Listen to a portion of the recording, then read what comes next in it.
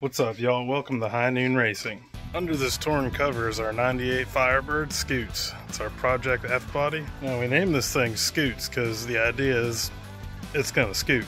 Now, Scoots is a little confused here. It's decided to transition into an 8 second quarter mile unit. unit. On the first episode, prepping the foundation, I ripped out all the wiring. So how am I going to make things like the tail lights, the starter, and other stuff work?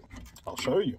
Today, I'm to show y'all how to make a nice wire harness for next to nothing for your race car or race truck. Basically,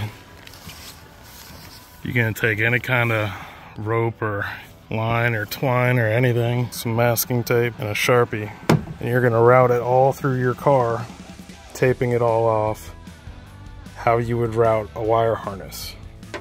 Then you just label it, and when you're done, you have your mock-up for a wire harness. All right, so I'm gonna give you guys a simple demonstration of what's actually going on here. The start of this started at the wiring panel, and then we routed it everywhere we wanted to route it. And by the time it got to first headlight, we measured off and labeled for our first headlight. Then we routed it, measured off, and labeled for our other headlight. So now this when we run the wires is the complete path that we'll need for doing a harness for the headlights. So here's starting point. That's where it splits off.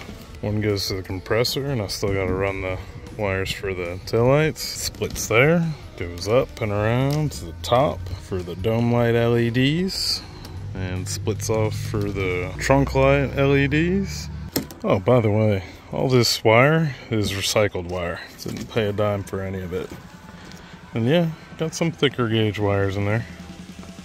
And basically, you're gonna take this disgusting mess of used wires and turn it into this. Not too bad, huh? Got dome light, trunk lights, compressor power and ground, then the main harness here, where it's all gonna connect. And then our brake lights. So I don't know about you guys, but I'm not paying $70 for a bump button and a trans brake button. I'm just not doing it. So I got this on Amazon for like 10 bucks. I already had this. It's also from Amazon. It's a nice little button though.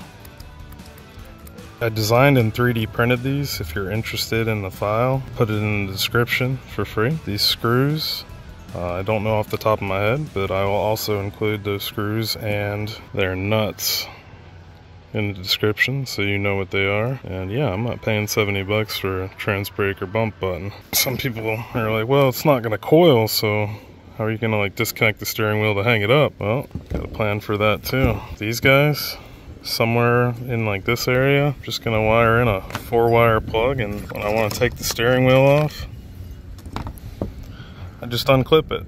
When I want to put it back on, I just clip it in. This thing only goes one way because it has those holes in that notch right there.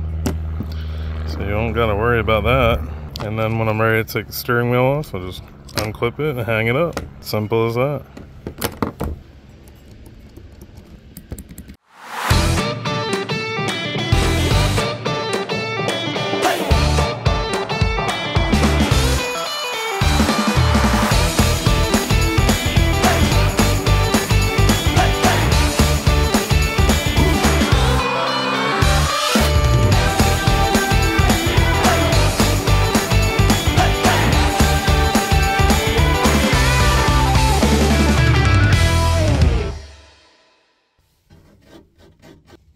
Right, cool. So now we know how to do that. But still, how do we wire up the starter? How do we make this all kind of like function?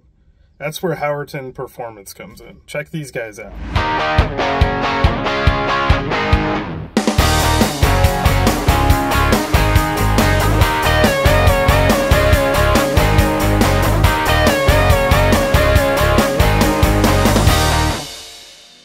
So I found Howerton Performance on Facebook and reached out to them and I told them I was interested in getting one of their setups and this is one of their Pro Series setups and basically it has all your relays, all your fuses, really clean routing of the wires and they're all labeled for however you want them. So you reach out, you tell them what you want, and they'll make it happen. And then it all comes with this really nice connector. I additionally requested for a solid state relay for the trans brake. So that's how that's gonna all get controlled. If you know how relays work, that's great. If you don't know how relays work, well, I'm probably not the guy to explain it. But basically what a relay is, these guys, is they got like three to five wires. There's probably ones with more. And one of the wires, if you send it positive, it will trigger the relay, closing it basically like flipping a switch. And then the relay will have power supplied to it from like a main power source, and it will supply the power also to whatever your accessory is. So basically, if you want to run like a really thin wire to a switch or whatever, you want to power something like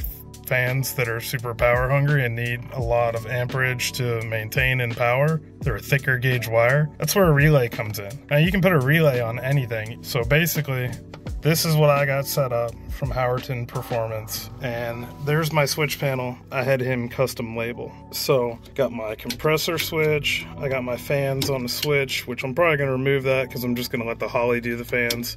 And then I got boost on a switch. And what that is, is that's gonna be turning the boost controller on and off in the Holley. So when I wanna do a burnout, I turn it off and then it's just running on wastegate. So it's not running on whatever we have our boost control set up to. So before we do a pass, we turn it off, do our burnout, turn it back on, stage, and do the pass. Headlights, that's kind of self-explanatory. Dome is actually not dome pressure. That's going to be dome lights, like the interior lights that we've been showing you guys the whole video.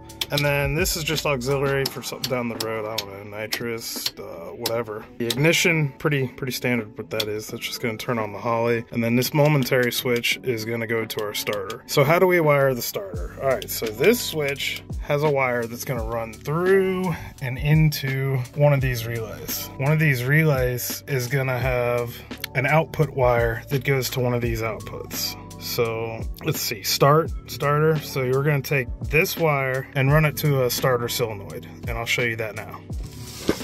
So that wire is gonna come to your starter.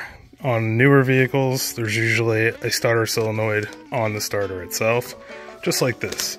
There's gonna be a trigger wire. It's probably that little guy, but it could be the ground. I don't know. I'd have to look up a diagram. But basically, from the relay, the trigger wire is going to go to this guy. And that's where it will tell it to start the starter. Simple as that. All right, let's move on to brakes. Damn.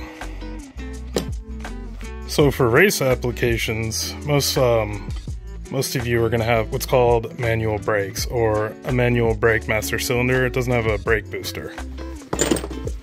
So the way this is going to work is most of these kits will actually come with Basically, it's a mechanical switch that operates on pressure. Once the pressure pushes it enough, it closes the switch, which will send whatever you're feeding it through the switch itself. So if you're feeding it a positive wire, it's open all the time. When it gets pressure, it closes that circuit and sends whatever you fed it through. So if it's positive 12 volt and it gets the pressure, aka you're pressing the brake pedal, it'll send that positive 12 volt through this sensor. That 12 volt positive is going to feed to one of your relay trigger wires, which is going to feed to accessory out to your brake lights.